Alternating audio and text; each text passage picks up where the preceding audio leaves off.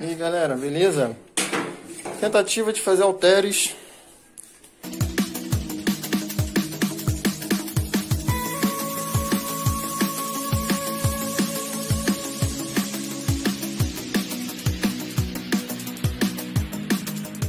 Esse aqui é um tubo, galera.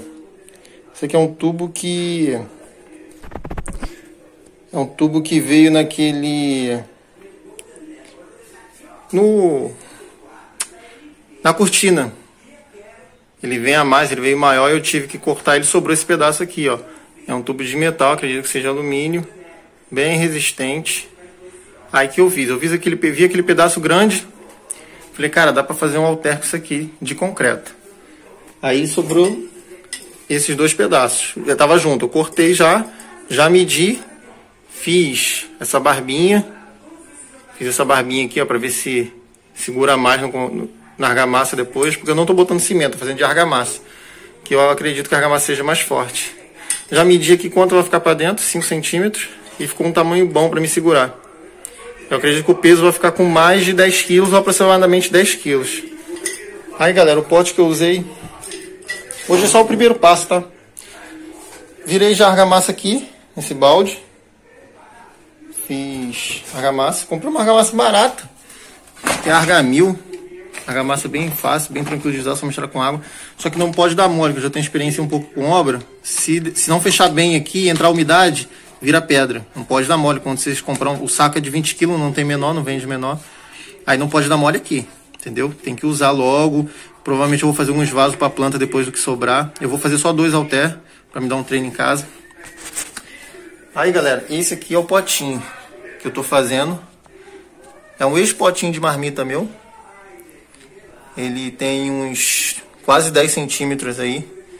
Não, tem uns quase 10, uns 8 centímetros, só que eu coloquei ele com coloquei ele com uns 7 centímetros aqui, uns 6 centímetros só. Tá bem pesadinho, tá? Depois que eu coloquei, a argamassa tem que dar umas batidinhas boas. Já marquei aqui, ó, com a caneta, pra me não errar o próximo. Dei umas marquinhas em volta, ó, pra me fazer do mesmo tamanho. E aqui tá a argamassa. argamassa. Vai dando umas batidinhas assim, ó. Pra ficar bem homogêneo dentro. Vai ficar umas bolinhas de ar. Mas eu vou dar um acabamento depois bem legal. Eu vou lixar ele depois. E vou colocar, vou pintar ele com uma tinta emborrachada. vou dar várias camadas para ver se ele consegue ficar emborrachado.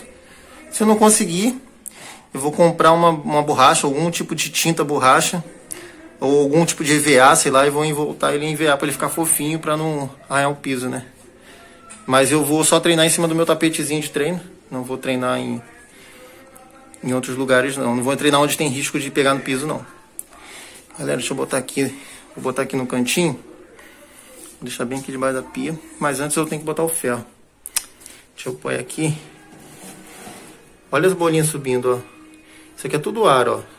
Ó se dá pra vocês verem aí, ó. Outra ali, ó. Tudo ar subindo.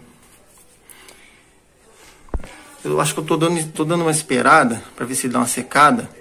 Pra mim colocar isso daqui. Vai ficar mais ou menos assim, ó.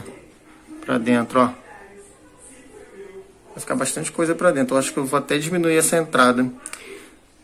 Vou botar aqui assim, ó. Vai ficar mais espaço pra me segurar. Calculei errado. Já volto já, vou mostrar para vocês como que vai ficar dentro aqui da argamassa, tá? E depois só esperar secar.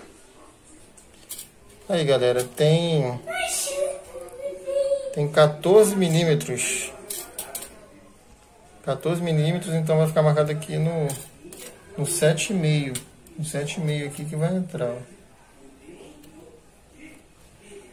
Vou fazer um cálculo mais ou menos eu vou introduzir primeiro para depois medir certinho.